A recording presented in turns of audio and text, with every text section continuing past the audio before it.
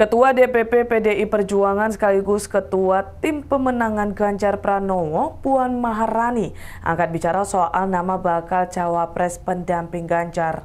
Puan bilang tunggu kejutan selanjutnya. Penegasan itu disampaikan Puan saat berkeliling Solo Safari bersama Wali Kota Solo yang juga putra sulung Jokowi, Gibran Raka Buming Raka. Puan meminta semua pihak bersabar karena PDI Perjuangan masih menimbang sosok terbaik dari sejumlah nama. Puan pun menyebut berbagai strategi mungkin dilakukan, termasuk di menit-menit terakhir atau last minute pendaftaran Capres-Cawapres. Partai Gerindra menilai wacana duet Prabowo Ganjar atau Ganjar Prabowo akan menimbulkan kerumitan antar partai. Sebab Gerindra dan PDIP telah mendeklarasikan bakal calon presiden masing-masing.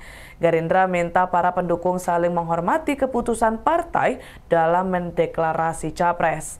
Sekjen Gerindra Ahmad Muzani bilang, jika tidak menjadi besan, setidaknya antara Gerindra dan PDI Perjuangan harus menjadi tetangga yang baik. Kan saling tunggu sepertinya. Sabar.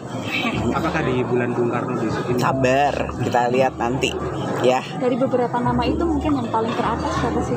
Ya rahasia dong. Kalau nggak rahasia nanti nggak bikin surprise. Nanti tunggu kejutan selanjutnya. Ada Apa memang pakai strategi last minute lagi?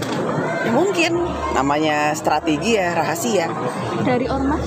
Mungkin bisa aja. Semuanya memungkinkan.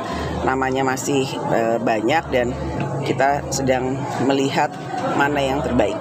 Ikuti terus berita menarik lainnya. Jangan lupa like dan share seluruh akun Tribun Medan.